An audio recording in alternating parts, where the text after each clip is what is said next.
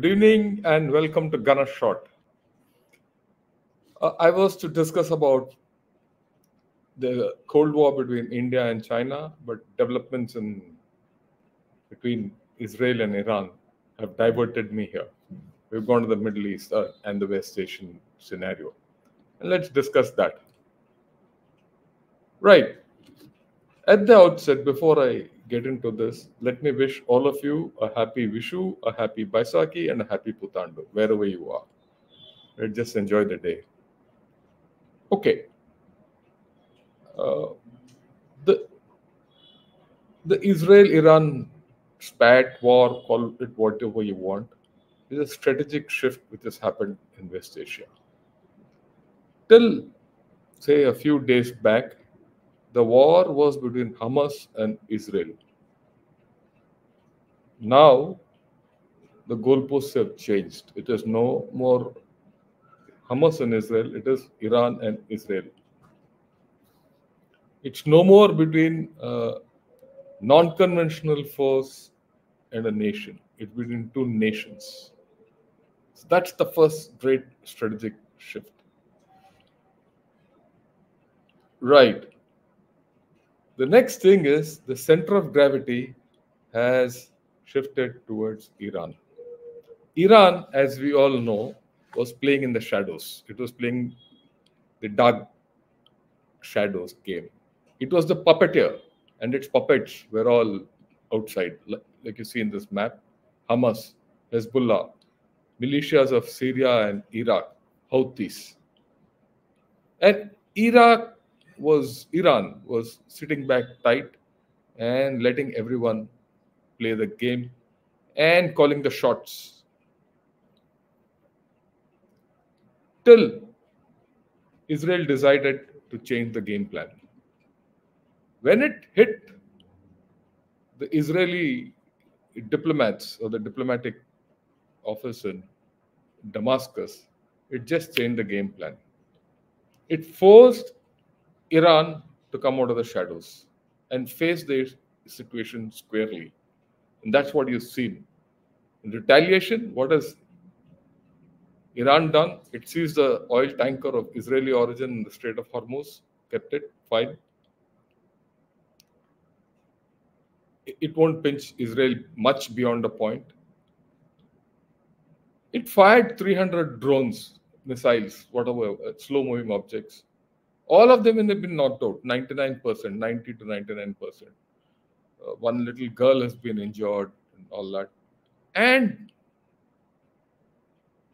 for israel militarily this is a defensive victory.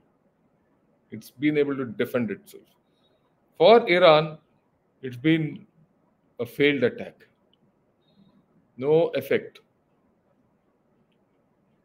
For israel they're taking out of that to diplomats in Damascus was true to their form. Now, Israel is now shifted to its home ground. You have to understand the shift which has taken place. It's doing what it does best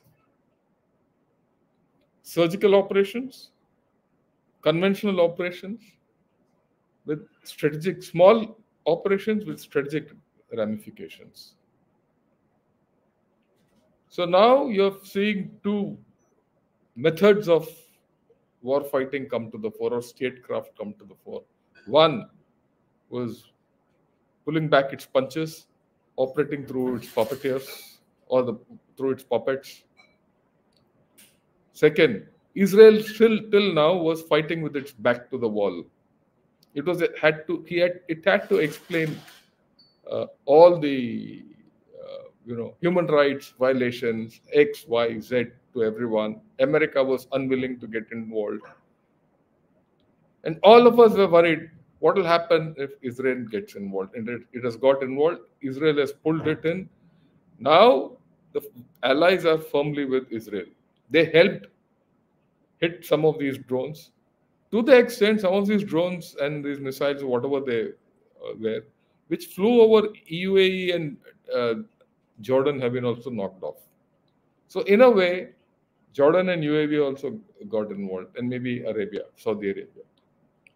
So the whole story has shifted. Okay, now there are very great ramifications. Let's let's understand this. Uh, what are the force capabilities? What's going ahead? You have to look at the force capabilities. If you don't understand the force capabilities, you'll be out of the equation. What was Iran's strength? Iran's strength was these militias. You have to remember, Iran doesn't have an air force worth its name. Iran has rockets, missiles, drones. Iran has militias. Okay? And now it's got hit and it's responded in this manner. Now I'll have to go back in time. Some time back, Major General Soleimani was taken out by the USA in a drone attack.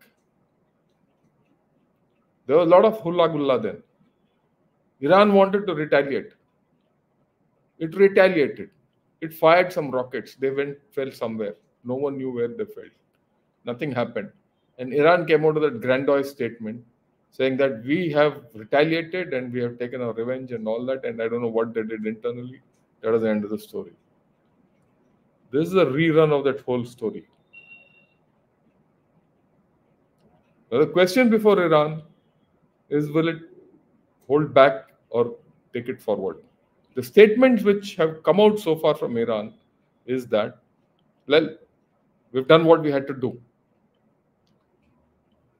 We've we reserve the uh, you know, right to retaliate, and we have done that. But it has not hit Israel, and that's pretty apparent all over the world. Okay. Another thing which has come out Israel, I mean, not, not Israel, Iran. Iran does not have the reach. Iran does not have the reach to hit Israel beyond a point. That's something which is very important. Remember, without an air force, without long range conventional forces, the distance between Iran and Israel over 13 to 1400 kilometers border to border, right? It's very difficult to cross. You don't have an air force, you don't have a satellite system, X, Y, Z. You just can't go. With just militias, you can't go. And now the militias have limited capability. All they can do is fire missiles. And Israel wouldn't have been foolish enough to undertake this without handling them. In any case, its back is secure. Hamas might not have died out, but it's hardly a military force to be dealt with. It won't come out. So it now has to deal with Hezbollah and Houthis. Houthis can at best fire a few missiles. And Israel will swat them off. Hezbollah will get hit. If Hezbollah starts a missile war, it will get hit. And Hezbollah doesn't have the strength to enter Israel. It will get massacred. So now what? This is a war by proxy. That war by proxy or direct war is going to be indirect war. Non contact warfare. In any non contact warfare, Israel will have the upper hand because it has air force, it has a strategic communication system, it has the space capability, it has the electronic warfare capability, right, to do what it wants to do. Plus, Israel has the capability to hit Iran in its guts. We've seen it often. Sometime back, Israel assassinated a nuclear scientist of Iran within Iran, near his house. It also took out a couple of nuclear installations some time back. And if you go back to the Osirak affair, that was a, a different era. But then, even now, it has uh, shown that kind of ability. So now, in a conventional matchup, Iran will be at a disadvantage. So, where does this go? From the statements of the Israeli spokesman, it doesn't appear that they're going to stop.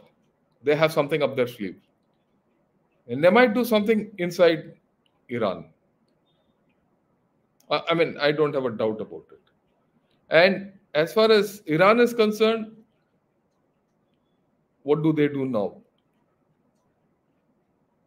Okay, now, so this is where it is. The military advantages shift, the goalposts have sh- shifted, this asymmetric warfare has taken a new turn.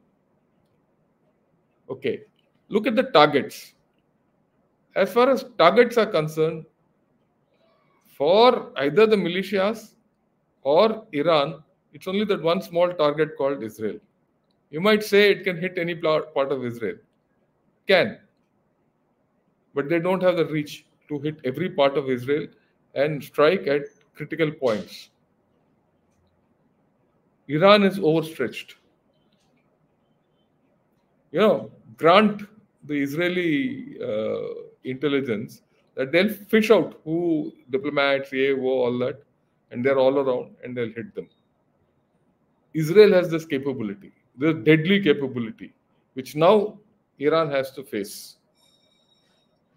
Iran is stressed out. Its assets are out. Plus, it is vulnerable at home because it does not have the kind of air defense capabilities or a layered air defense like Israel has. So, in a military matchup, I, I mean, there's no guess. Plus, USA, UK, France at least appear to be on the side of Israel. Everyone will now try to say, okay, calm the whole thing down, X, Y, Z. But I, I, I have my doubts. I have my doubts if Israel will uh, now keep quiet because for now, I mean, we've all been saying that for Israel it's an existential battle. Now, now they're not going to let go because they've changed the goalposts very deliberately. Hereafter, we're going to talk of the larger West Asia war. Hamas is out of the equation. The focus now is on Israel, the nuclear issue, XYZ. Shift has happened. And that is something which we have to understand. Okay, now let's talk of the shifts. Let's talk of the nuclear angle. We all know Israel has got something, it is nuclear. It might not, it's not, it's undeclared nuclear state. Iran is on the verge of becoming nuclear. If Iran ups the ante, Israel will get after its nuclear systems. And I don't think Israel can protect its nuclear facilities. And by now, I'm sure Iran has something in its mind to hit one of the nuclear facilities and they get the degrade the Iranian capability. Iran is at risk now, and Iran well knows it. So, Iran has fought this battle to the asymmetric domain right? Israel is getting back through another domain, the conventional domain. Okay, and the nuclear domain. So you're going to see a, this multi-domain operations here, which are being played out. It is being played out. So now, will how will Iran respond? Okay, this virtually forces USA, UK, France, and all the allies to get into the equation. Okay. Not only that, already there will there are certain you know I would say inklings of realignment of uh, the Islamic world. Till the battle was between Israel and Hamas. The complete Islamic world was behind Hamas and against Israel. They were forced. Okay. Now it is between Israel and Iran. First, there will be a followed by Saudi Arabia. Saudi Arabia might not toe the line. UAE will not toe the line. As it is, there are uh, you know reports that some drones and missiles were flying over their airspace, which they have closed, and they had to shoot down. So they'll not be happy about it, and they might not support uh, Israel. The overall peace process there is at risk. right? I mean, there's no doubt about that. Okay. The nuclear angle I've discussed. Then, of course, the issue of what happens to the Chinese interest and the Russian interest. We all knew that China and Russia were backing Iran. Right? And they were very happy that Iran had fixed USA and Israel in a position. Is that true anymore? That's a flip. And who will get hit most? The Chinese. Because their game plan is getting upset very fast. If Iran goes out of the equation, that many things will you know impact the Chinese. So they would be worried. And we are also seeing that in the past six months, the Chinese influence in this area has been minimal. One might say, look, Chinese, I mean, there is an undeclared uh, kind of agreement with Houthis that they were not touching the Russian and the Chinese ships. Fine, no problems. But now what will happen? They'll still not touch, that's not the issue. But what will happen to the Chinese control through Iran? How much can Iran control the Houthis? If Iran doesn't support the Houthis or control the Houthis, the Houthis will wither away. Same thing will go happen to Hamas and same thing will happen to Hezbollah. So the split in the Muslim world and the focus against Iran now, right, has changed the dynamics. How this will get played out, I don't know. We'll see. Right. I mean, that's the way I look at it. I think Israel has done a great strategic shift. Right? Whether it has done with the go ahead from USA or not, we don't know. But then you, uh, Israel is that kind of a maverick nation, which it will not take any instructions from anyone because for them it's an existential battle. Till yesterday, probably the politics in, within Israel were against Netanyahu and everything, and there were no answers. But today that might might change because now it is against Iran. Right. So this retaliation has changed the template quite a bit. Okay. Now all these puppets of the puppeteer, what will happen to them? That's the next question. The puppeteer is now in the open. If the puppeteer has to play, if the puppeteer has to play, will the puppets, Hezbollah, Houthis, the uh, Shia militias in Iraq and Syria, what will they do? Will they also start? If now they get into the equation, Israel, UK, USA, and France or any other allies will be free to go at them. So the entire story is what will Iran now do? Will Israel escalate? I don't think Israel will now step back. It, it, it is doing all this with a great plan. Now, well, what are the effect of all this on many other things? Look at this. Three major straits have been are under now danger. Strait of Hormuz, Bab al Mandab, and Suez Canal. Right? All these are now under danger. If this war escalates, which the likelihood is quite a bit, you will see the Strait of Hormuz likely to close. Bab al Mandab as it a thing, which means the it threatens the oil economies of this area. If the oil economies of this area get threatened, then Iran's power will get reduced. Everyone will go against them. Right? Now, immediately Israel and I wouldn't say Israel, US will be back in the game. Even China will be at a problem right? Things might develop in a different manner by tomorrow, day after, I don't know. But then you look at it, is Malacca Strait also. The impact here will have an impact in South China Sea. All that grand posturing by China, China will have to rethink.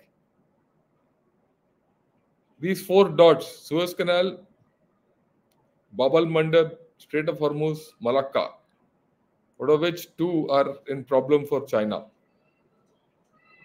They're at risk. The Chinese energy state is at risk. As it is, their economy is not doing well. Okay, Russia. Russia will still continue the way it is. It might help Iran, but then what can Iran do? That's the question. Okay. Now, next thing. Let's look at it a little farther. Panama Strait, Bab al Mandab, Strait of Hormuz, Malacca Strait. These four are the major straits of this world. Panama Strait, as it is, the capacity has gone down by 50%. Lake Gatun doesn't have water. So, a lot of uh, you know transshipment across the Panama Canal is being done by road. Bab al Mandab, it has gone down. Strait of Hormuz also, if it closes, it leaves only Malacca open.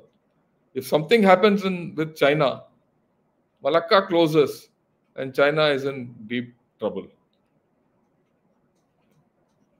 So the Chinese, actually, this whole story fixes the Chinese more. They have to now rethink their whole story, at least for the next three, four months, think, till such time issues stabilize. Okay. Effect. Oil is going to go up. Global inflation is going to go up. As it is, interest rates across the world and inflation is up. So you'll see this going up. So economies are going to get stuck, hit. Okay. So there is a lot at stake, even for us. Okay. The bulk of our oil comes from these areas. The only thing is that we have access to Oman. And we might have to open a land route. That old IMEC might have to start kicking in now. And we might we might have to start thinking afresh. So many people ask me, okay, what is what is India's whole uh, story in this? India's story is very simple. You can't take sides against Iran or against Israel. Keep quiet at this point of time wait, let events unfold. What happens tomorrow? What happens day after? Let events unfold. This is the time when we have a great strategic opportunity. We can now tell everyone enough of this fighting. Just let go. We can talk sense into people to say it's time for everyone to come to the table because the stakes for everyone are high the person with the least stakes probably in this whole game is India. Look, I'm saying least stakes with India, but India also has high stakes. Remember, uh, a bulk of our oil and fertilizers comes from that area. If the Strait of Hormuz closes or we have a problem, we also our economy also will get hit. But compared to others, we have the least stakes to lose, and we'll probably get the best leverages.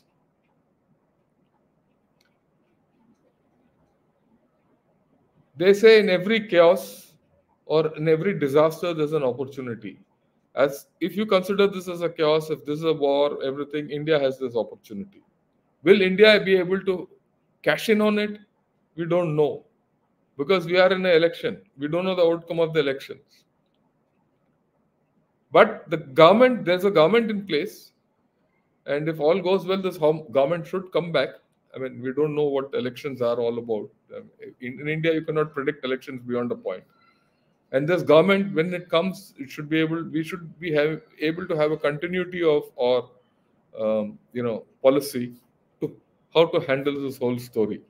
But this is the time for us to handle it better, to be proactive, because the West are actors in this story. USA is part of this part of the problem. It is not the solution. Russia and China are also part of the problem. They're not the solution. The solution lies today, in my way of looking at it, only with countries like Japan and India.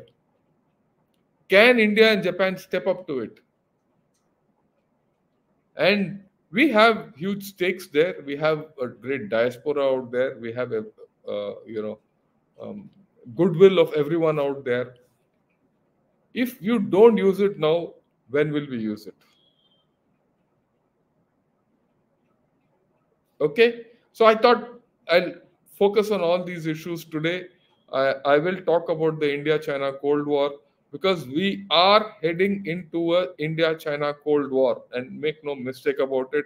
I will talk about it a few days down the line. And that's going to be complicated. And you know, you have to, your thinking has to change. Okay, with this, uh, I'll I'll uh, take questions because a lot of things will come out with the questions and a lot of questions have come out the way i look at it. I'll go one by one and aram se answer all questions. Okay. Uh, okay. This is this i have to press the notify button to get notification for each episode. Also the notification is activated for after 10 to 15 minutes from the start of the program. This is just to keep you informed uh, what I would suggest this, I think this has happened. What I would suggest to all of you who are having this problem is first unsubscribe from a, a gunner shot, then resubscribe with notification. Okay, uh, that's the best way. And I would also suggest you, uh, you know, subscribe through another ID if you have, so that if one ID doesn't work, the other ID also uh, starts working. Well, I see I have a new member uh, that's Arun Kumar. Okay, let me first deal with him. Uh, Arun Kumar, thanks a lot for becoming a member. So kind of you. I would request more of you to join in. I would also request uh, more to subscribe. I'm glad so many of you have responded to the whole thing. Okay. Bisi Belly Bath. Is it the start of the World War III? Look, uh, I will not call it a World War III. Let us see where it goes. Uh, in a way, the World War is already going on. There's a it's a mixture of a World War and a Cold War, which is already going on. You have the Russia-Ukraine war going on. You have this, which is expanding, and you have the problem in Philippines, which is going on. A lot of action going on there also. If you look at all these three, it's a world war of sorts. So that's how I look at it. Okay, if Israel escalates, escalates further, then surely there is a hidden goal. Please, can you try and guess what this? I've told you, they've changed the goalposts. Israel is no more fighting a war with Hamas. The Hamas war has gone to the background. All those issues of um, the, you know human rights and genocide and all that will now vanish. Now the focus will shift to Israel, a conventional war, and now Israel, uh, Israel and Iran. It's a conventional war. Now Israel is free to do what it wants to do. So the, that shift has taken place. It's a great strategic shift. And Israel has done it very, very deliberately and very, very thoughtfully. You know, militarily, I think it's a great shift. Politically, will it, this pay off? Is to be seen. Okay, how this will end is to be seen. The political end game is not known, but the shift. So the shift is something which we have to keep our pulse on. All this war is to save Ukraine from Russia. That focus war may be shifted from Ukraine to Iran to. I don't think so. I think you're looking at the wrong end of the telescope. This has got nothing to do with Ukraine and Russia. This is an existential issue for uh, Israel, and it is acting in that manner. If you have not understood it, you are in a fixed frame of mind. All the best. Uh, okay, why are you why are the informed us generals been saying that israel will lose battle with hezbollah? Are they bluffing? Look the thing is that a non-contact warfare if it goes on for too long at some point of time it stretches israel. And i don't i have never believed that a non-contact war can be won by anyone okay? A non-contact war has to be followed by a contact war the non-contact war is good where people don't want to get into a contact war or a kinetic war with each other or without any territorial members and all that if you are looking at just Hezbollah firing missiles that it will hurt Israel beyond a point, it will not. Remember, is Hezbollah is a political organization with a militia. If Hezbollah takes a hit, its own politics and its own fortunes in Lebanon will go down. So now it will restart to calculate. If its own puppeteer, Iran, is getting hit, the master is getting hit, how much will Israel step out? Or rather, Hezbollah step out against Israel? So that is also a question mark. Okay. So, I mean, I don't know which is uh, you, uh, you know, informed US general told you that, you know, if they fight with Hezbollah, it'll, they'll lose. War is something which is never static. Everything, every time you have to think new. And that is what uh, Israel has done. Okay, you have to understand there's a turning point which has come. Right? If you don't appreciate the turning point and you don't appreciate the shift which is happening, and if you stay stuck in your old thing, you'll be there. Yeah, Iran knows it can't win against Israel, UK, US with existing asymmetry in military capability. I agree with you completely. Iran is at risk now. So far, Iran, by playing the game from the shadows, was happy. Now Iran is at risk. So, what will Iran do? Will it slowly back out like it did when Soleimani was killed, uh, assassinated? How much hold will it have on Hezbollah or, uh, you know, Houthis or Hamas to pull them back is a question mark. If it doesn't have, then Israel's power goes down. Israel is at, I mean, sorry, Iran's power goes down. So Iran, Iran is at risk for many more things in this whole story. Right? So if it doesn't control the militias, its power goes down. If the militias act without its advice or rather outside its advice, again its power goes down. Overall, there's a problem for Iran. So, how much pressure do you think USA will put on Israel to keep quiet? Do you think it will work because Israel too have to answer to its people? I agree with you completely, Shekhar, because that's what Israel has done, and Israel will also not listen to anyone beyond a point because for them it's an existential problem. They've probably been waiting for the right time when they can shift the story, and they've done it.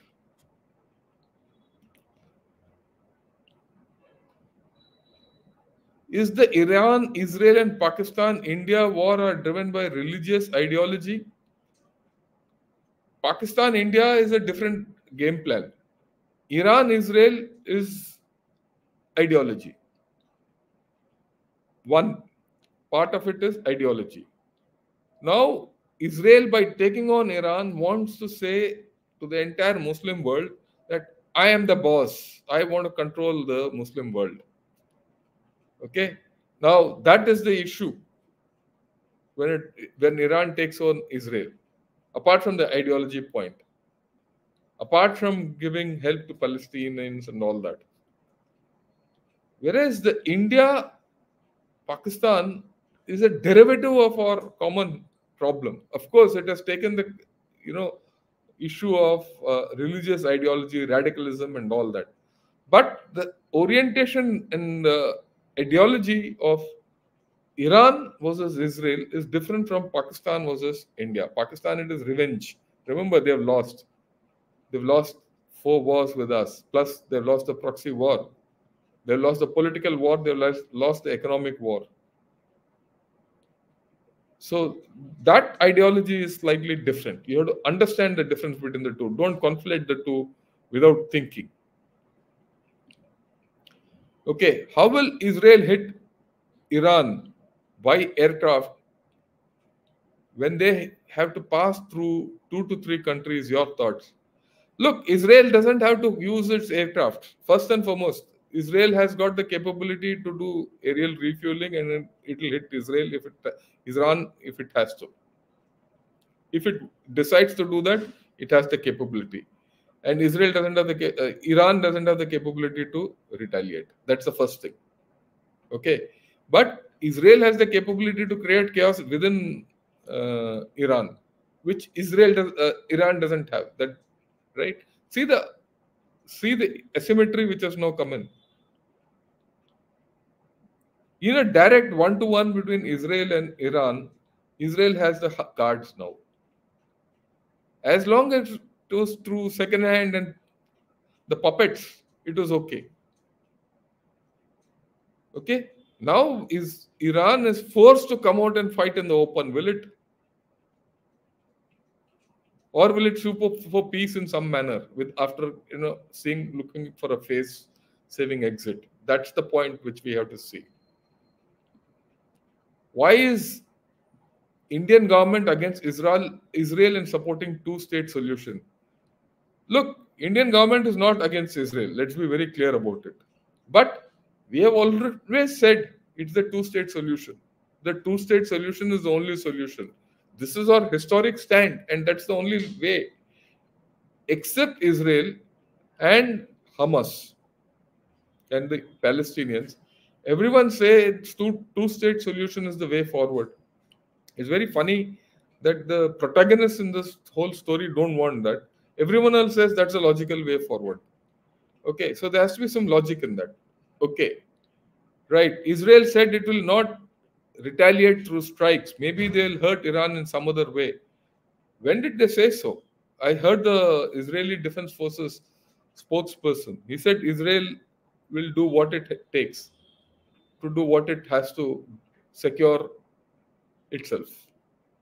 Security and sovereignty of Israel it will protect, however it has, it has to. And it also says, I expect mischief from Iran.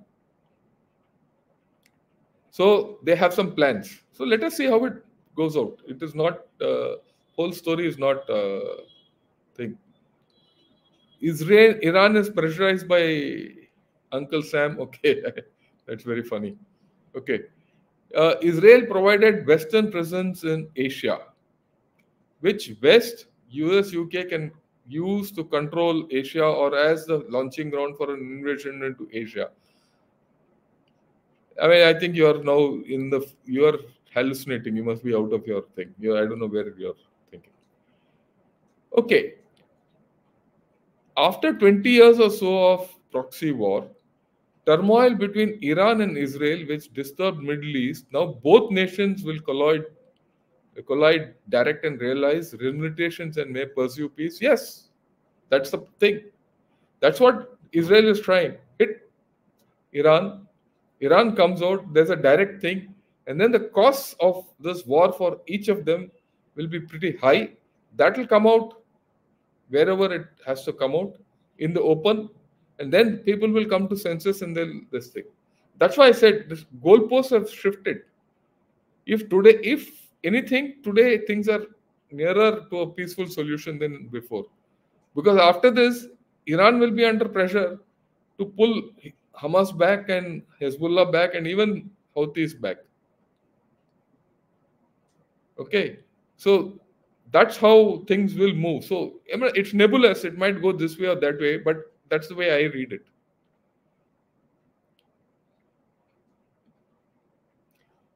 Moji, Modi ji doesn't react. Oh, we'll wait. We'll not talk of him so fast. Uh, I really hope uh, our government takes your suggestions. Let's see. I hope so. So far, they have not. Okay. जय हिंद जय भारत जय श्री राम जय श्री कृष्ण जय महाकाल भाई सब बोल दिया कुछ और तो बोलो बॉर्डर पर तनाव है क्या? नहीं। हमारे बॉर्डर पर तनाव नहीं है तनाव जो है वहाँ है। Okay? Right. Sir the role of the security council and United Nations general assembly have been over the time become defunct. Is this the right time that India step up and form a true multilateral organisation beyond the BRICS and the G south? yes we have opportunities we have diplomatic opportunities uh, i told you to get this war to a closure, to you know settle the peace, and take an active role in uh, steering everything to a, peaceful uh, thing. But will we do it if we don't know? We have a opportunity to go to the UN and say, look, it's better you enhance the Security Council because permanent members of the Security Council because anyway they are all actors in this war. In fact, they've been actors in even the pandemic. They've been actors in this war. So if those people are the ones who are the prime problems in any conflict situation, how will they solve other uh, problems? How will they give leadership? So you need alternate forms of leadership. So that is where we have an opportunity if we play our cards well.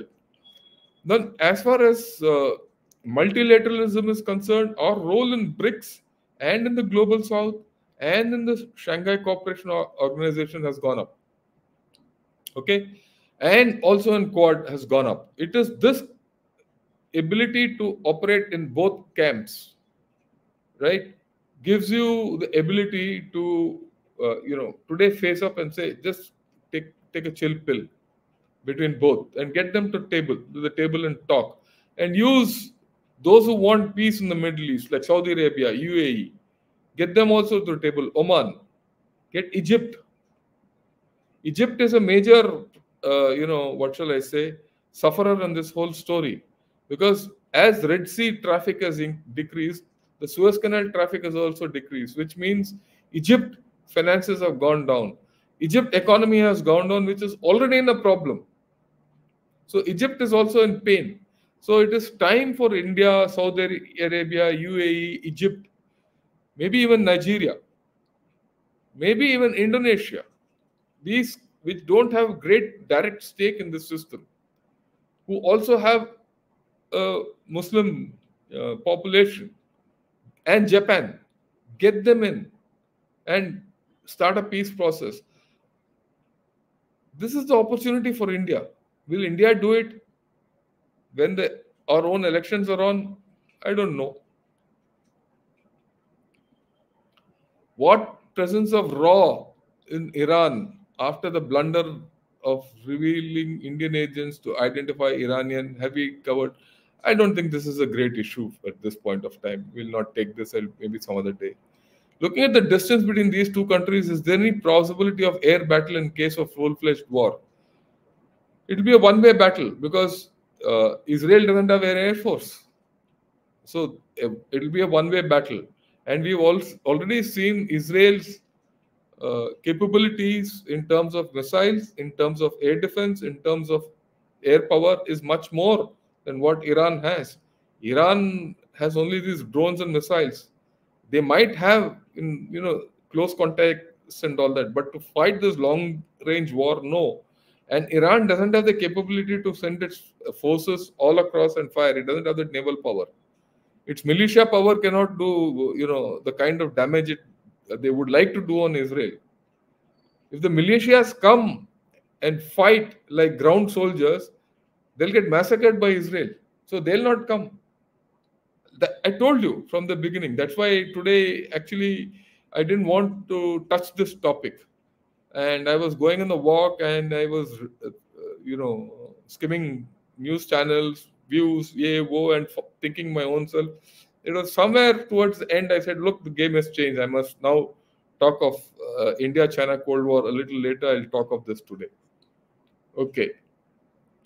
You have to understand the main thing today is the game has changed. Okay. Uh, example: China, Pakistan, they occupied India territory conducted India was India defended. Yes, I think you have a point. The value of defense has come out in this. You see, the value of defense to inflict a strategic defeat or a strategic stalemate or change the strategic game has come out in this today by Iran deflecting so many drones. Right? It is there's a strategic rethink on. Same thing which happened when we did the you know Kailash range operations. Different approaches, different methods, but the strategic rethink on the part of China. And from then to now, four years, we have sorted China out. And that's actually the reason why this, this whole story connects up with the India China Cold War, which I'll talk of. Right. Okay. How to learn basic security, geopolitics from basics. Yeah, this is what I'm telling you. This is what the whole story. You follow me and you'll get it. Uh, okay, when this animosity between Israel and Islamic countries uh, when this are going to reduce already world is tired of a war in eastern europe world is experiencing climatic disaster. Hope china doesn't take advantage. China won't take advantage. China is in a big problem. I mean i've been telling you this. Everyone thinks that china is you know going to do everything in the world. It cannot do anything.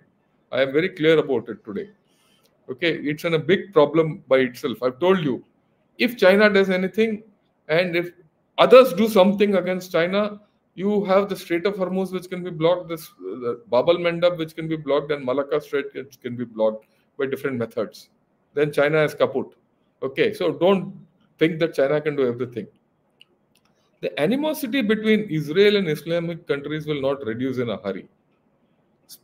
Especially this countries like Turkey. Turkey might still reconcile because it's part of NATO and the, its tail will be twisted. But Israel and Pakistan, they are the problems. Not Israel, sorry, Iran and Pakistan. They are the problems against uh, Israel. Saudi Arabia and UAE will reconcile. Lebanon will reconcile. One day, right? If the day Iran is sorted out or Iran comes to terms with this whole story, then you will find this Hezbollah, Hamas, and all will have to this thing. But at the end, there has to be a solution to the Israel Palestine problem in some manner. Otherwise, this will not end. Okay. Sir, is there any possibilities of Saudi siding with Israel to loosen Iran proxies in that region as it would be in their best strategic interest to weaken Iran's proxies like Houthis? Yes. Already the indications are there. That will happen. See, take the ship which was uh, impounded by the Israelis, by the Iranians. I'm mixing up today Israelis and Iranians. That was taking oil from Saudi and UAE uh, areas to Israel, isn't it? So already there is, and before this, the Abraham Accord was there. Already there are indications that uh, Saudis and the UAE chaps are saying look, let's solve the Palestinian problems and go ahead. The IMEC is at uh, stake, and many more things are at stake. So this they will, right? That's why I said in the beginning, they this has the potential of splitting the Iran Saudi peace deal. And Iran will now find itself cornered slowly. Whether it will happen or not, we'll see, but something will happen. Yeah, maybe Iran already owned nuclear and hence got courage to directly jump with own identity instead of proxy. Look, so has Israel. Okay, so and Iran is not a fool. And Iran, so far, maybe just a screwdriver away from nuclear capability. So what if it has nuclear capability? Does it have the delivery means? Israel might have. What if Israel takes action against Iranian nuclear facilities. It has had the history of doing so. Iran is at risk today. Understand that. Yeah. Ask chances of Russia and China getting involved. Indirectly, yes. Directly, no. Both don't have the capability of direct involvement in this area. We have seen for the past six months, China has a base in Djibouti. They've been sitting inside tight. They're not been moving out anywhere. So don't expect China to come all out. And China is having problems there. And China doesn't have the capability of doing something in South China Sea and in this area. And China doesn't want to you know get involved here and get shown out. भाई अगर China का एक जहाज यहाँ डूब गया तो फिर तो बैठ गया ना चाइना वाला टोपी लगा के। ऑल ऑफ़ अस ये क्या चाइनीज़ है? वो नहीं दिखाएगा वो। अभी देख लो। You take my word let me see if China will take a strident role and no one is going to listen to China if China doesn't have the military muscle to do things here people listen to USA because USA can get force China can get force here if it can get force and force a resolution nothing will happen India still is using force in the uh, for anti-piracy there. It has people respect India for that. Remember all these things. Okay, does Israel have a navy? can Israel use its navy to start some sort of a contact war with Iran? No, that can't happen. Israel's navy is towards the Mediterranean. It doesn't have any navy which can deploy here. But in any case, why does it need a navy? It has the US Navy to handle its affairs. Right? If things go up, you know, at some point of time, look at the escalation ladder. Just understand the escalation ladder. Uh, okay, now this is where it is. Iran did some, Israel did something. Iran responded by this drone strike. Fine. Iran, Israel disreflected it. Israel does something. Then Iran will retaliate. In this tutu meme and you know up and down, what if something someone else gets hit there? Some UAE chap or Saudi Arabia or US uh, facility or Kuwaiti facility or something happens in Iran or something happens in Iraq or Syria. After all, in these places there are US bases. Some hot-headed fool does something. Then the contact war will be between USA and Iraq, USA and Iran. I mean, Iraq means the militias there. So you have to understand the contact war, how it will fold, unfold. And USA doesn't want to get involved in a, a contact war in uh, Iran. That I'm very clear. Even a non-contact war against Iran will be very, very solid if USA gets into the thing. And it will be at the cost of Iran. So it's we are in a edge. So government leaders comment on no invade of territory of India by China. Why they so so? Just wait. We'll do it next week when we talk of uh, Cold War. Do you think Iran has deliberately been pulled into a kinetic war by Israel so that it can get an excuse to attack Iran to settle the threat of nukes once and for all? Possible. I told you it's a deliberate plan and move by Israel to do what it has done against Iran. A lot of options. This has opened out options for Israel which it never had before. Right? And it has backed Iran into a uh, corner. That's the thing. Okay. Uh, will Biden force Israel to wash out? Difficult. On the other hand, uh, the US people might say, tell Iran, I mean, to tell Israel to go ahead also, marginally. It will give a little leeway. Okay, out of Iranian proxies, Hamas in Gaza, Houthi in Yemen have now been sorted to an extent. Syria was under target. Uh, Hezbollah involved. Two question is Iran out of proxies now. I will not say Iran is out of proxies, but the value of proxies now has gone down. The problem before Iran at the cost of reputation is now that the direct conflict between Iran and Israel, which Iran can't win. That's the point. Iran, it is unwinnable for Iran. Peace means they have to pull these uh, proxies back. If they pull the proxies back, Israel is okay, happy.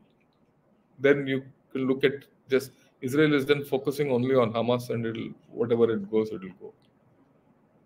If that doesn't happen, now the proxies continue, Israel will continue with Iran. Okay. If Iran stops control of the proxies, the proxies will wither away because the missiles, everything comes from Iran. So that's why I said there's a this is a great strategic shift which has happened. How this will pan out, we'll see. Chances of revolution in Iran, if top mullah's regime changes, Irani people and Israel will be happy. I think uh, doubtful at this point of time. Okay, the the authoritarian regimes, it's not so easy to overturn them, especially at these times. You know, longer term, we don't know what will happen. When India will start mediating, it seems India is the only neutral major country. I agree with you completely. That's what I told. For India, it's an opportunity.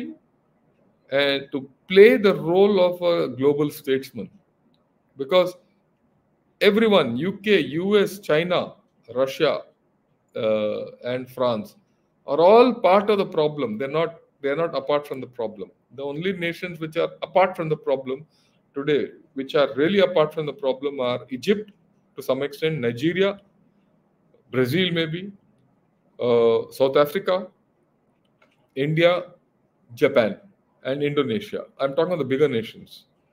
Out of this, who's got the maximum weight? Who will these people all, uh, who, where, uh, you know, leverages exist for Iran, Israel, uh, maybe to a, some extent Lebanon and all to listen? India and the Middle East. Acceptability is India. So, opportunity. Israel can use nukes on Lebanon and Iran. No, they'll not do that. They don't need to do. It. Actually, at this point of time, there's no need of nukes. Don't go. अभी तो यार केल भी असली शुरू नहीं हुआ आप न्यूक पे चले जाए न्यूक में nuke is far away okay जी differ at this point but the catalyst in both the circumstances arising is desert i mean i don't know your language you will be more clear do you think Iran has deliberately been pulled into kinetic war by Israel? Yes. It, I, we've said that earlier. Uh, Neeraj Kulkarni, China is building 150 nuclear reactors. One of the purposes. Yeah, we'll talk of this in the Cold War. This is one of the points there. Yeah, Jai Bharat. Funny Raj, welcome uh, as a YouTube member. I would request more to come in like I keep saying, uh, what more come in, uh, more girls get educated who can't afford education. So USA is pretending to calm down the situation by is saying Israel to stop now. In hindsight, USA might be wanting Israel to hit Iran for weapon selling. Possible. All these things open out. I have no doubt. Sir, good evening. Hamas seems to have made a big blunder by trying to get leverage by holding on to hostages. This is a sensitive issue in Israel, hence, they want to hit all with the gloves off. Yes. Look, any leverage has a time. Beyond that time, that leverage is of no use. Okay. I think Hamas has stretched the whole story. And Hamas, by not coming to table and you know coming with a political solution and sticking to its stand that we will not have any political solution with uh, Israel has put Iran in a corner. Okay, now Iran has to react. The Muslim world has to react. Everyone will react there. You watch the fun. This is only the start of the whole story. Is there a change of regime change in Iran? Doubtful. Sir, is Chinese weapon quality getting exposed in the strike? Not as it. What's next in line? Will Israel respond? Israel will. In my opinion, they will. How it will, we'll see. Is this a plan of Israel to openly destroy nuclear weapons context yeah in this context? Yeah, that's what they've already indicated. Because earlier Israel has done something against the uh, Iranian weapon, no, I won't say nuclear capability. Okay. So, uh, by doing this, they have opened that window. So, Israel will have to factor this in in their plans ahead, and Iran will have to factor this how to defend itself. See, now the shoe has shifted. Now, Israel will not defend itself, it is Iran which has to defend itself. Okay if it does anything. Fingers crossed Here, iranians hate being under islamic rule. Okay we'll see. Okay i am reaching out from sweden with a request for insights regarding the ongoing tensions between iran and israel and its potential impact on the upcoming indian elections and economy look the tensions between iran and israel for the past one hour i've been speaking have a look at it again and that's where it is impact on Indian elections, I don't think will happen. I mean, I don't think. uh, uh, there's going to be much. Uh, there will be talk whether you'll mediate or not, whether they can mediate or not, whether the political parties are in a position to mediate or not. And, and this will not be an electoral issue. This is not the issue on which, you know, the villager from some remote village in Rajasthan or Andhra Pradesh or Telangana will vote for or against the party. That's the way I look at it. And many of these things, you know, it doesn't affect their naukri, it doesn't affect their, uh, uh, you know, facilities and services which they get. It doesn't affect their mengai. You know, those fundamental things are what people look at in the villages.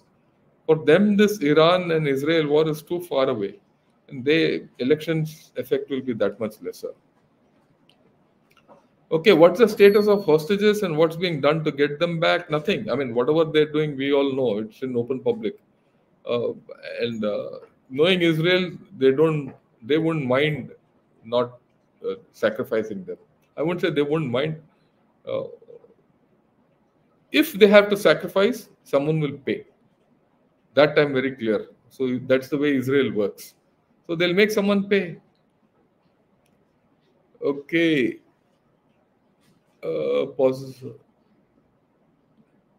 Do you think India should withdraw its troops from UN peacekeeping forces. No, not at all. There's, both are disconnected everywhere. Uh, yeah, Sisi in Egypt is livid, angry. Egypt needs the money, which I told you. The Suez Canal traffic has gone down. Money from Suez Canal to Egypt has gone down. Egypt's economy is going down. As it is, it's in almost a problem. Yeah. हम Israel Iran war से क्या learn कर सकते हैं very good question अभी we have a lot to learn. You should know how to differentiate between the tactical and the strategic. You should understand that the what moves you do and what will be the strategic implications of each move you do. And you should know how to get the advantage, turn a disadvantage into an advantage. Okay. And we should learn from our own thing. You see how Iran, uh, has been put on the back foot by Israel, it has turned the whole story same thing we did against China in the Kailash Range operations. You know, we, the uh, change is there. So both these things are important. We have to learn how to do this. Okay. For example, after the Yangtse incident in October uh, 22, they have not come back again. They have learned. Okay. You should know how to hold this whole story right now maldives there is a shift which is happening it's 50 50 how do you make this end against china or an, a disadvantage china is the challenge in front of us maldives because if you maldives से अगर हम उनको उकाड़ देंगे ना China वालों को ये तो बड़ा जीत होगा कोल्ड वॉर में हमारा कोल्ड वॉर तो चल रहा है इसमें दो राय नहीं है इसके बारे में मैं विस्तार में और बात करूँगा Why should India bring peace when USA does everything the high way? Look, at this point of time, USA might need our help to get peace into the area.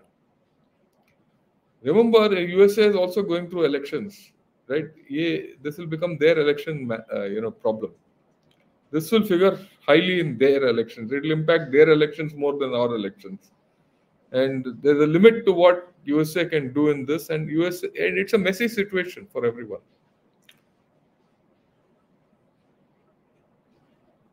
Okay. Israel doesn't have an air force. So Israel has an air force. It's the Iran which doesn't have an air force. Yeah, AG, why are you asking so many questions? The same questions I have explained.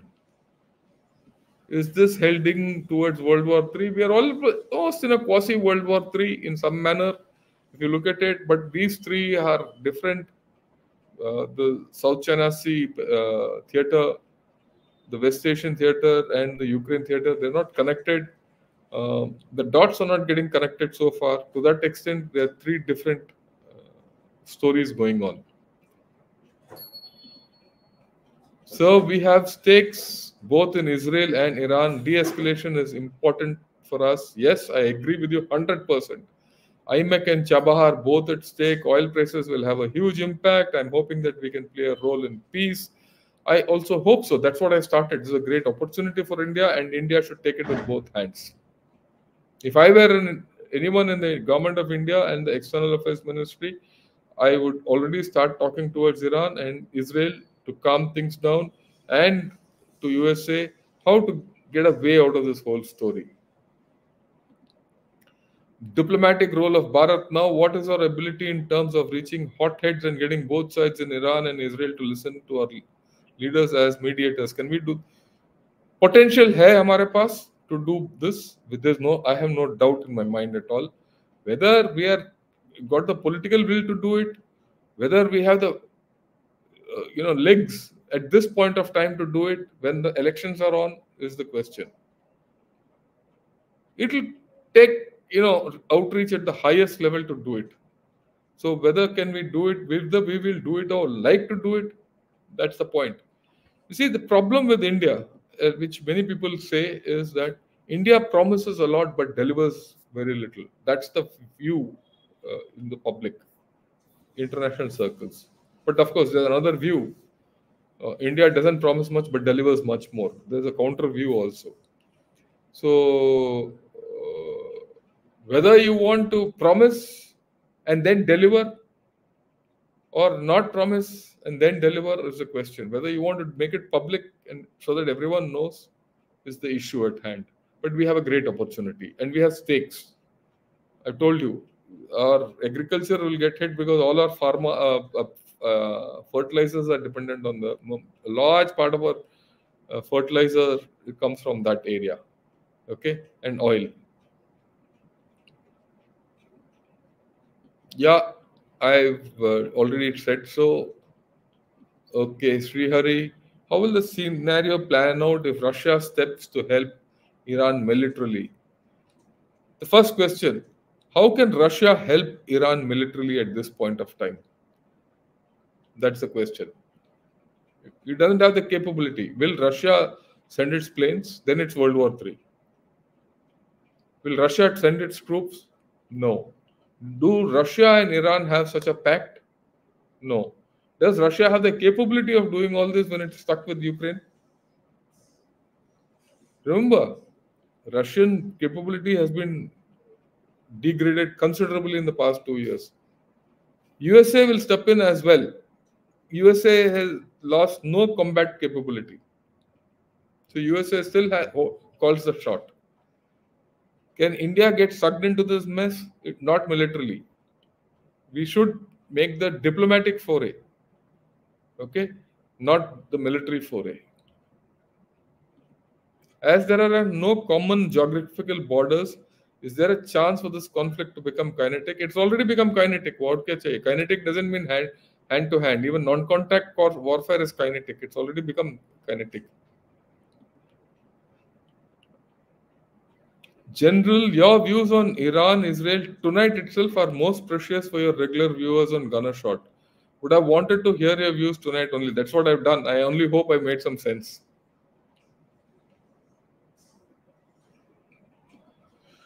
Don't you feel this is a bad move by Iran this gives license for Israel to shift attention away from Gaza. Jayant, I completely agree with you. Uh, Iran has played this bad. They, I mean, see, for it's for two reasons, it's gone out of control. One, that the kinetic move has not made effect. Okay, they've just sent 300 drones. 300 drones and missiles have not made an effect. It's a huge thing. Okay, everyone talks of drones and missile warfare. They've done nothing. Okay, so that is one loss completely. Iran defending itself is a gain for Iran. I mean, Israel defending itself is a gain for uh, Israel. So on that count, Israel has won in in this round, and Iran has lost it. The other thing and where it has lost is it has shown its hand, its incapability to do anything beyond a point without its puppets. When the game is changed, how do you respond? Is the thing. Israel has changed the game. It has changed the goalpost. It has changed the playing field. That is where now Iran is in a quandary. Um, Sir, I live in UK and I find your channel is with substance and no fluff. Thank you again for sharing your perspective and knowledge. This is priceless, sir. Siddharth, get more friends of yours to join in. Uh, the more who join in, the more you yarn you get. Okay, actually, I rarely speaking, uh, I'm a little uh, unhappy with myself. I should have got someone else to talk about all this, but I really didn't get time. It was only at about six o'clock when I was in the walk that I decided that I'll do this. So by the time I came back and I, you know, made this fundamental things, I had to do it myself, and it was already seven seven thirty. I couldn't invite anyone over. But uh, let me see as days go by what I can do. Yeah. What will be the future of IMEC after this situation? IMEC will go through don't don't be in a hurry it's not a one day affair it's not a two day affair it's a not a one year affair it's not a two affair it's a long term affair imec will go through imec is anywhere operating in the peninsula arabian peninsula uae and all that uh, oman. All these three countries want imec whether they you like it or not they want it. Why? Climate change is happening they need food. India is the source. They have oil resources are finite.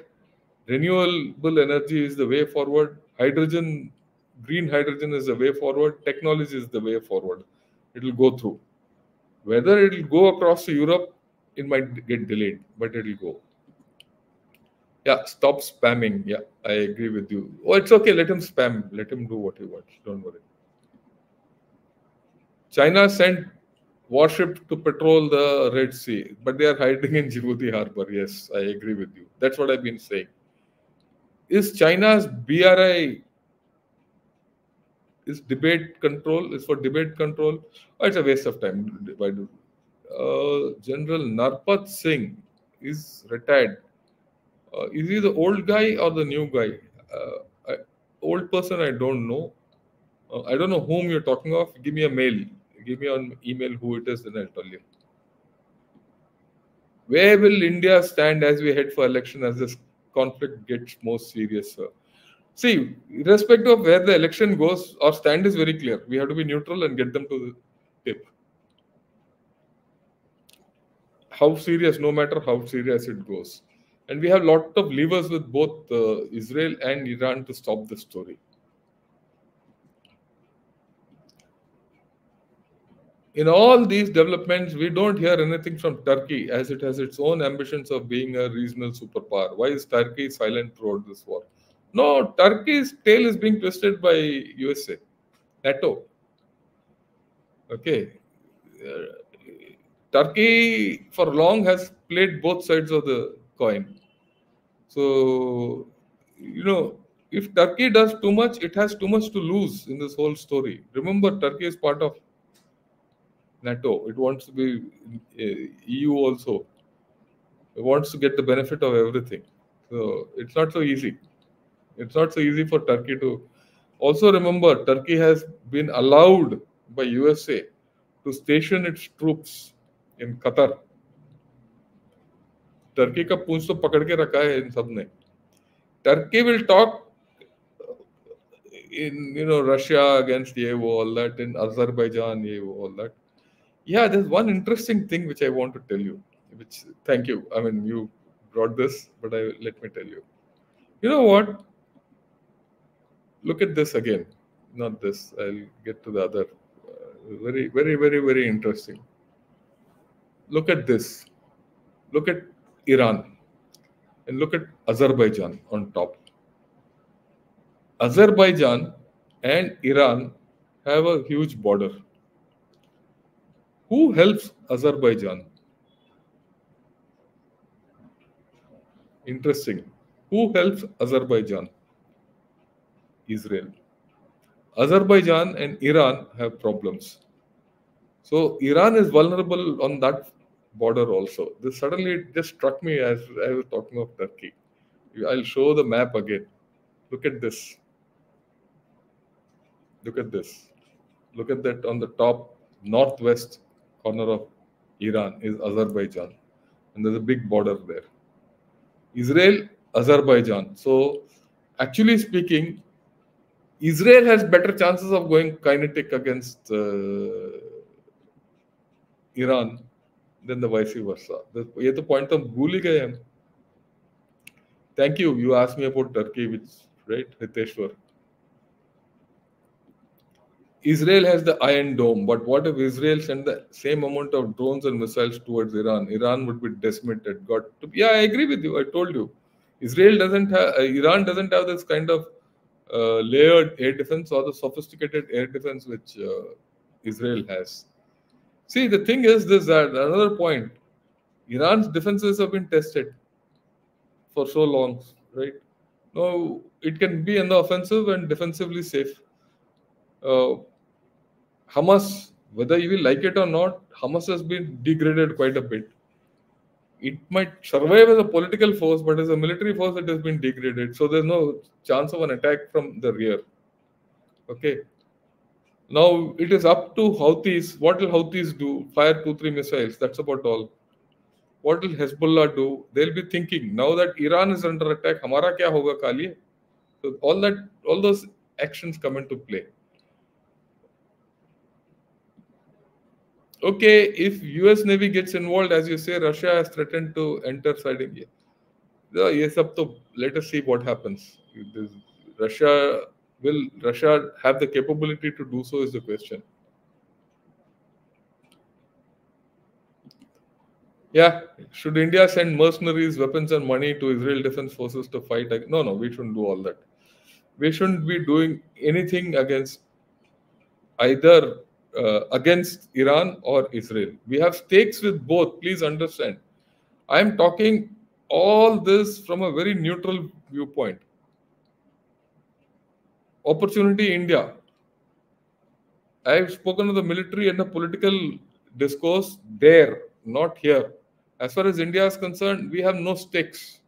Who wins is irrelevant to us getting peace there is relevant to us. We have good relations with Iran, we have good relations with Israel.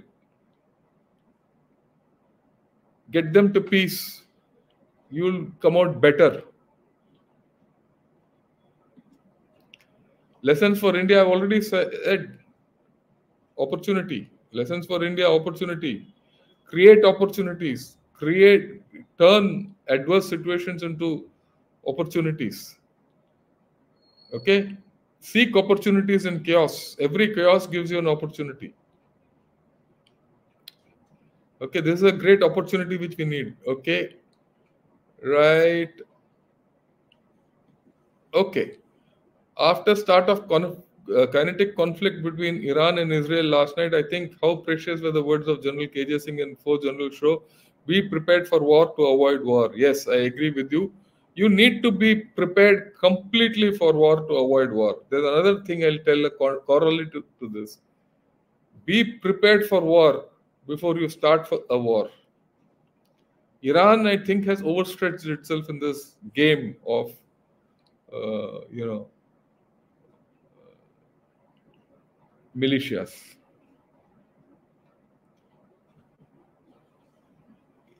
Now that it is in a direct one-to-one war with Israel, its weakness will show up and it has to recoil.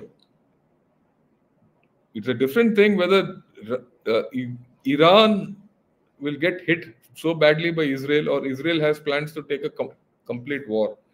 But the vulnerability of uh, Iran has come out in this whole story. Okay. Tomorrow, Iran can do something else. We'll see how it is thing. I'm not saying that Iran has lost and Israel has won. This round is gone to uh, Israel.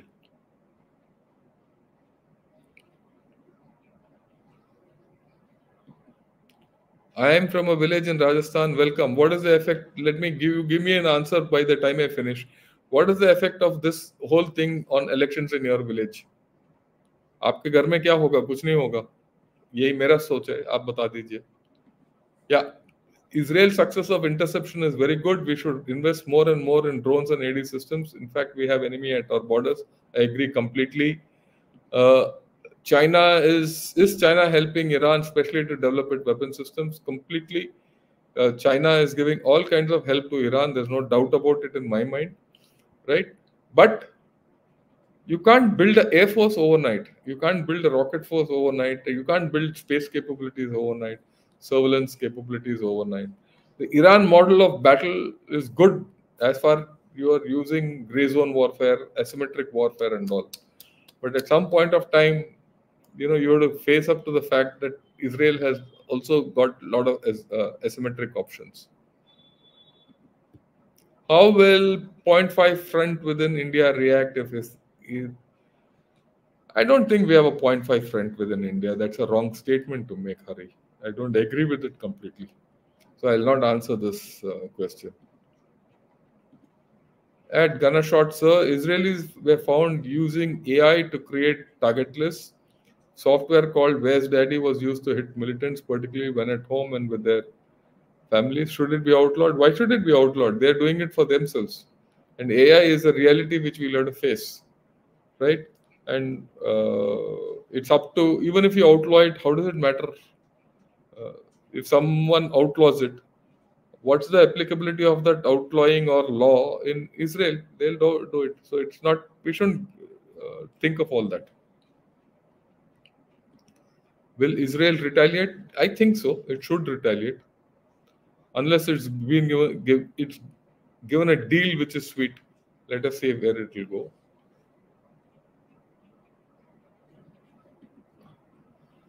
Attack on an Iranian consulate by Israel was it justifiable? Well, diplomatically, it was not justifiable. In war, the way things were going, Israel has done what it has to. There's no justification in war. Tomorrow, if there's war, I'll also do the same thing. If I'm in a, if I have to do whatever I have to do, I'll do it. There's nothing. All is fair in love and war. As simple as that. Okay, you can at best condemn Israel for doing that. So what if he, has been condemned for so many things? Why is this USA restraining Israel? Is it because USA has to prepare for Taiwan? Look, there are too many interests of too many people in West Asia at this point of time. There's a problem of energy, there's a problem of fertilizers, there's a problem of many things. So that is why USA is restraining Israel. Okay, and so it's talking sense. Let us see where it goes. Okay, is Iran's move to attack Israel more of a compulsive action or there has been a shift in its strategic restraint policy? It's a compulsion. They can't but retaliate. If they don't retaliate, that regime is at risk. They have to show internally that they have retaliated. They will show some videos of these things going and bursting somewhere and creating chaos and all that internally right? It's like china. To that extent though we have a relation good relationship with iran iran is at the end authoritative regime which controls its own media. So they'll do what they have to do. So whether they're fired they'll show series of firing they'll show some destruction taking place they'll show they've destroyed uh, israel. So all that story will go on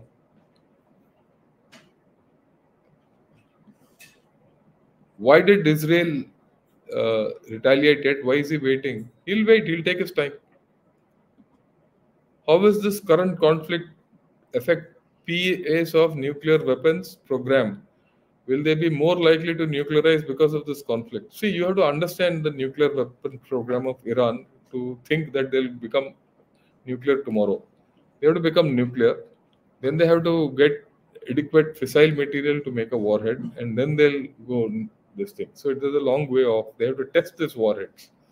So there's a long way off before Iran has nuclear weapon capability. Whether it goes nuclear for energy is something else.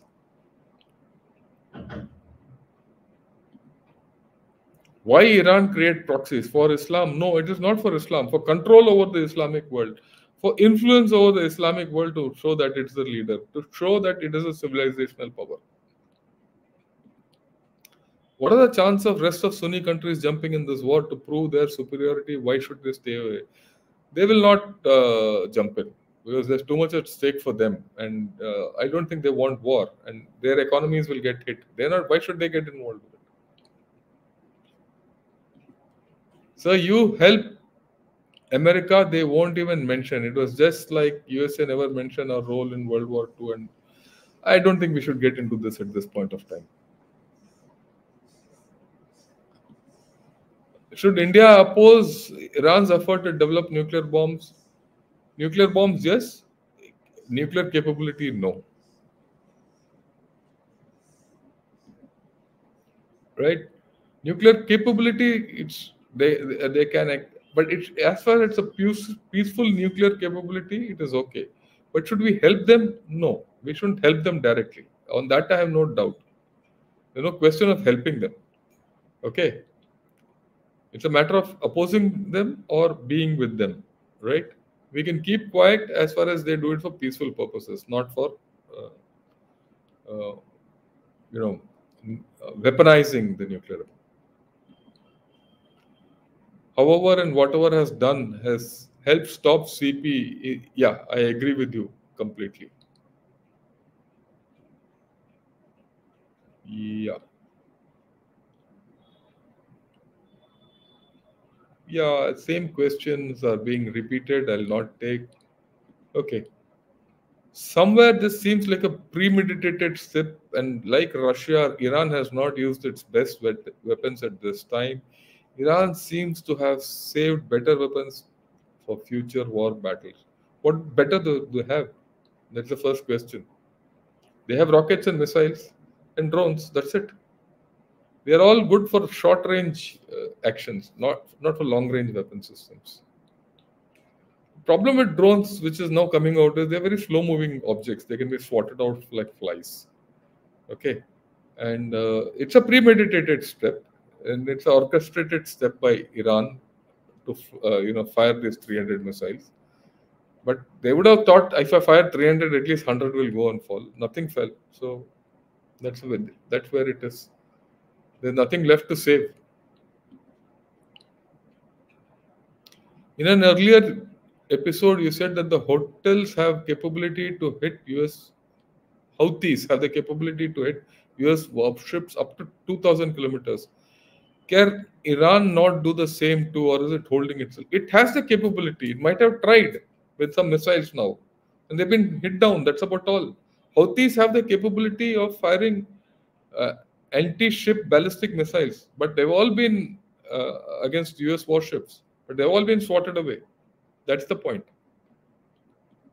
Will Pakistan have any role to play in this war? Huh, yeah, they have a fantastic role to play in this war and every war which is all around the globe and in any peaceful situation. They can go with a begging bowl and say, Yaar, hame de do, kuch to de do, Baba. That's the only role they have.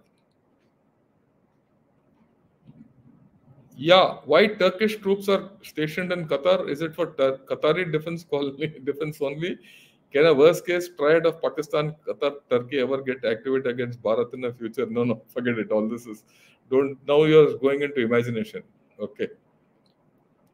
Half front threat from ISK and asymmetrical warfare from PEAK, Pak proxies can be utilized. Also, will give Pak give air bases again to get yeah, uh, you chaps are now going off track. Forget it. Is it not in our interest that US and China engage in this conflict?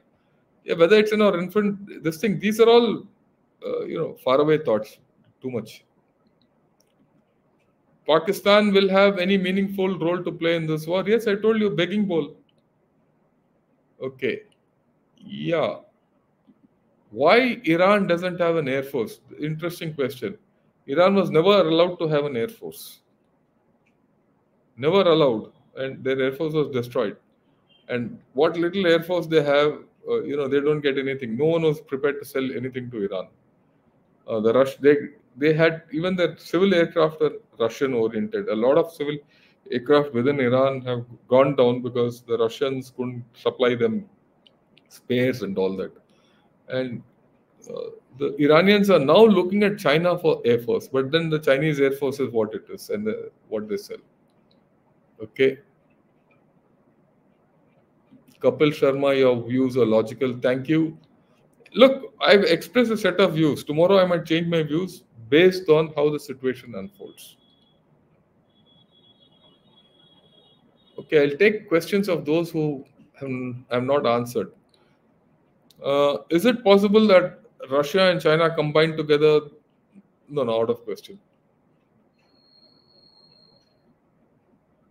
YouTube user. Do you see regime change happening now in Iran as Israel's countermove? No, it will not happen in a hurry.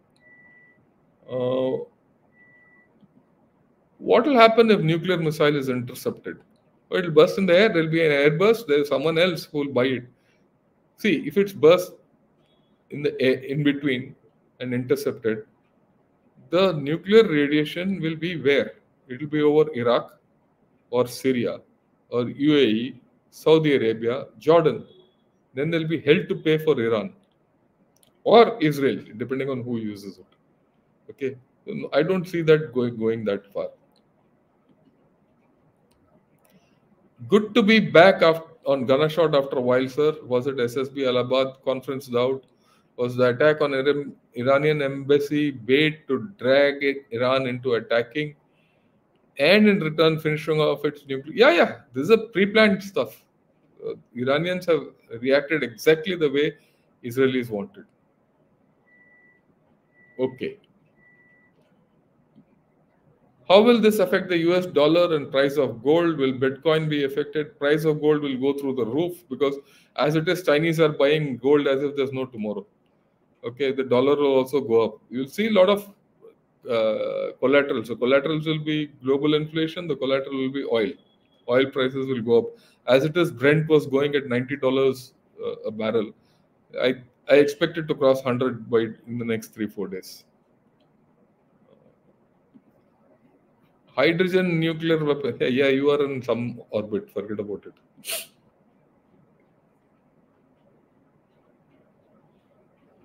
I mean, let me explain. You know, these missiles and all will not go high. They'll go at some low level. So this will be an air burst. Now, it is not a matter of uh, fallout. It's a matter of other collateral damages. And hydrogen weapons are the second stage after uranium and plutonium weapons.